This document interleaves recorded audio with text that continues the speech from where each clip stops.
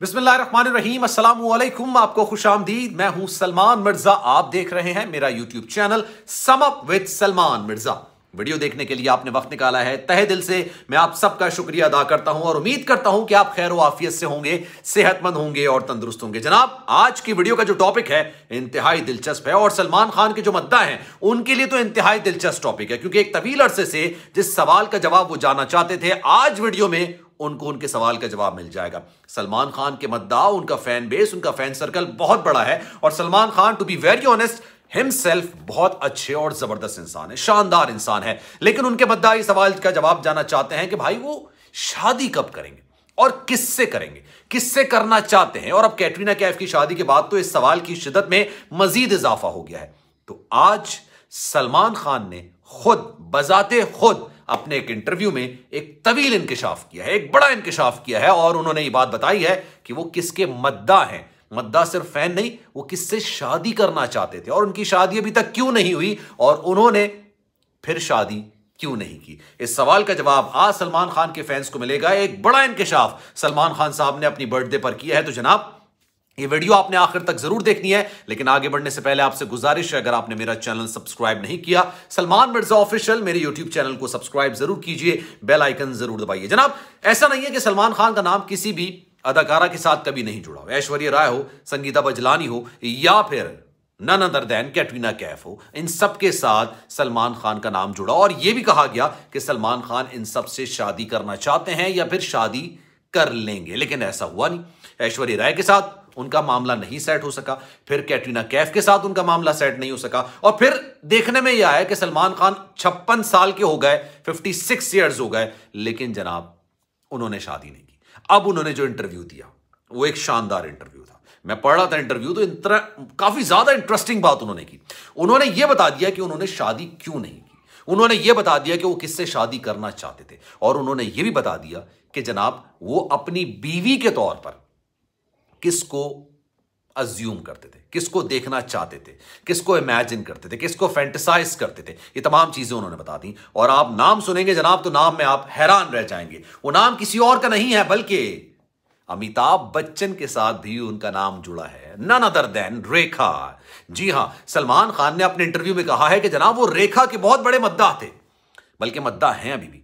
और उनको देखने के लिए वो सुबह साढ़े पाँच बजे उठ जाया करते सुबह साढ़े पाँच बजे जब रेखा जॉगिंग के लिए जाती थी या जॉगिंग करने के लिए निकलती थी तो सलमान खान सिर्फ़ उठ के उनको देखा करते थे। अच्छा अभी मैं ये सोच रहा था कि Rekha around sixty seven years old हैं, Salman fifty six years old हैं तो तकरीबन ग्यारह साल का डिफरेंस इनके दरमियान आता है। तो जो फ़र्ज़ करें, तीस साल की अगर रेखा होंगी तो इसमें से आप ग्यारह साल निकाल दें तो उन्नीस साल के सलमान खान होंगे। लेकिन उस जमाने से वो रेखा के मद्दा है अच्छा सलमान खान अपने इंटरव्यू में कहते हैं वो ये बताते हैं कि जनाब, रेखा उनकी पड़ोसी थी, पड़ोसन थी, और वो इस बात से बड़ा खुश होते थे। उनको बड़ा अच्छा लगता था कि रेखा जैसी अदाकारा अच्छा उस वक्त तक Salman Khan film film industry में नहीं आए थे। लेकिन वो ये समझते थे कि जनाब, रेखा जैसी अदाकारा, जिनके साथ नाम जोड़ने के लिए बॉलीवुड के उस वक्त के, अपने वक्त के बड़े बड़े अदाकार लाइन लगा के रखते थे, उनको देखने के लिए सलमान खान को मौका मिल जाता था। और वो उनकी पड़ोसन थी। सुबह साढ़े पाँच बजे रेखा वॉक करने के लिए निकलती थी या फिर जॉगिंग करने के लिए निकलती थी। तो सलमान खान सिर्फ़ इतनी सुबह इस वजह से उठते थे कि रेखा का दीदार कर सके, लेकिन क्योंकि पूरे दिन तक, पूरा दिन उनको रेखा का दीदार करने का मौका नहीं मिलता था। आगे चलते हैं, एक और बड़ी दिलचस्प बात की। अभी आपने पूरी वीडियो सुननी है, क्योंकि उसकी वजह यह है कि उन्होंने जो जो बातें कही हैं, बहुत दिलचस्प है, बहुत मज़ेदार है। फिर जनाब वो आगे ही कहते हैं सलमान खान एक और इंकशाफ ये करते हैं। वो ये कहते हैं कि योगा क्लास हुआ करती थी रेखा की। और रेखा, अपने ज़माने की शानदार अदाकारा, बड़ी खूबसूरत अदाकारा, डांस करती थी। डांस के हवाले से बेतहाशा वो मकबूल थी। और फिर अमिताभ बच्चन के साथ उनकी जोड़ी, अमिताभ बच्चन के साथ उनका फेयर फिर अमिताभ बच्चन से उनके मामला बिल्कुल जुदा हो गए। जया बच्चन से अमिताभ बच्चन ने शादी कर ली और फिर दोनों के मामला बिल्कुल मुख्तलिफ़ हो गए, बिल्कुल जुदा हो। लेकिन जनाब, रेखा के मद्दे मुकाबले वाकई में उस वक्त कोई अदाकारा नहीं थी। जया बच्चन रेखा के मुकाबले में बिल्कुल भी नहीं। आप कहते हैं ना, किसी तौर पर आप उन दोनों को स्केल मैनेज कर ही नहीं सकते।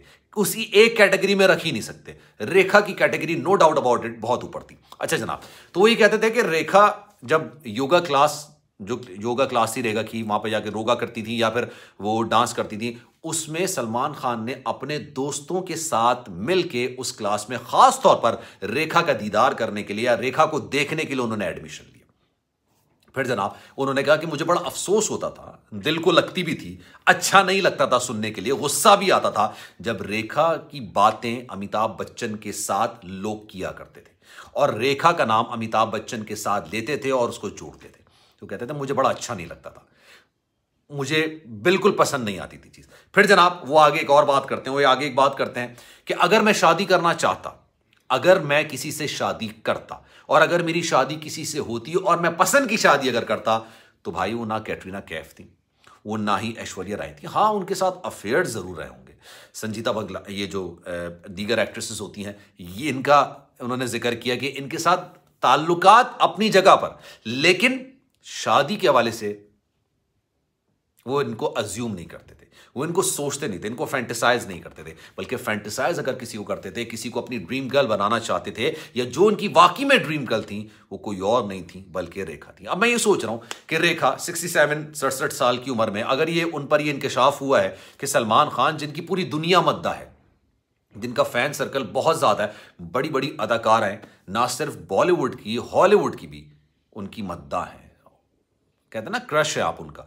लेकिन वो रेखा के मद्दा है। वो किससे शादी करना चाहते हैं? रेखा से शादी करना चाहते हैं।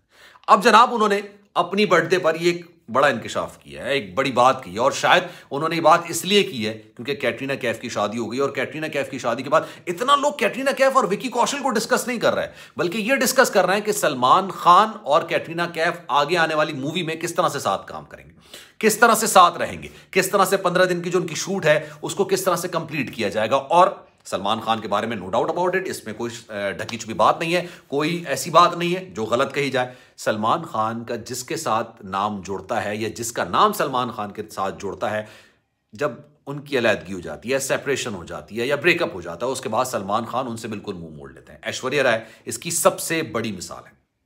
ऐश्वर्या राय के साथ विवेक ओबराय का जब नाम जुड़ा था तो फिर विवेक ओबराय का नाम कहाँ चला गया, किस गुमनामी में चला गया, ये आप सब जानते हैं।